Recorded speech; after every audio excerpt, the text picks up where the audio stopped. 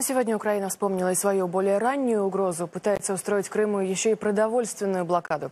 Приостановлено грузовое транспортное сообщение с полуостровом. Кто именно стоит за подобными решениями? Какая логика у этих людей? Какие цели? Причинно-следственные связи искал Вадим Хуланков.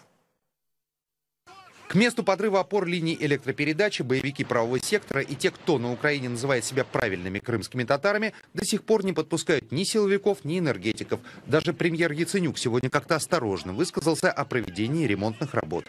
Напоминаю, восстановление энергопоставок в Херсонскую область и обеспечение энергобезопасности страны требую, чтобы по тем линиям, где мы можем провести ремонт, начать ремонтные работы. Но пока оборону у взорванных опор стойко держат бородачи в попахах и нацисты в балаклавах. Так что о скорейшем восстановлении энергоподачи и речи быть не может. Уже сутки стойкие борцы за независимость Украины от Крыма держат оборону на месте проведенного ими же террористического акта и сидят в железных трубах.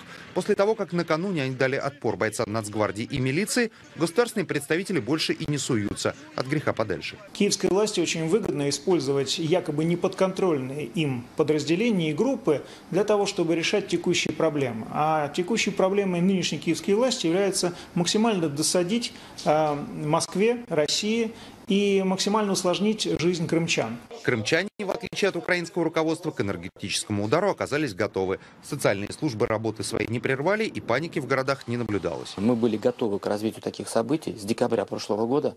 Если вы помните, что мы были подвергнуты такому воздействию, поэтому мы очень серьезно готовились, и система полностью готова. В очередной раз украинские националисты и примкнувшие к ним радикалы так называемого крымско-татарского меджлиса не смогли остановить жизнь на полуострове. То, что они, объявив экономическую блокаду, не пускали фуры с продуктами на полуостров, ощутимо ударило по экономике самой Украины. А подрыв опор ЛЭП не только обесточил два крупных промышленных района Украины, но и довел до критических нагрузок едва запущенные в строй АЭС. Пострадали, безусловно, в первую очередь э, не крымчане, а поставщики поставщики из Украины, но кого это волнует?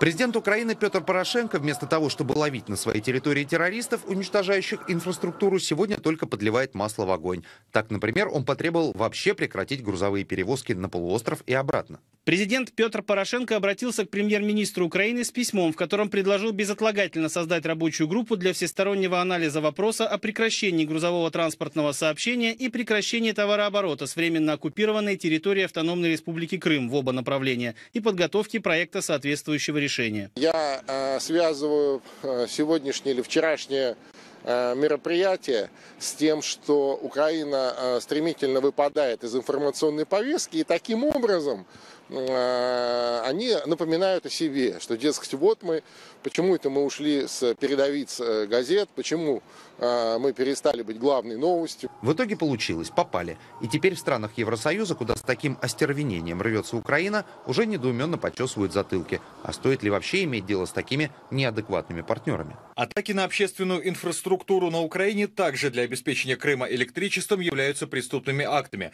Мы ожидаем, что они будут таким образом восприниматься ответственными украинскими должностными лицами и будут расследованы. Но сегодня в Киеве делают вид, что ничего особенного не случилось. Подумаешь, взорвали участок энергосети. Бывает.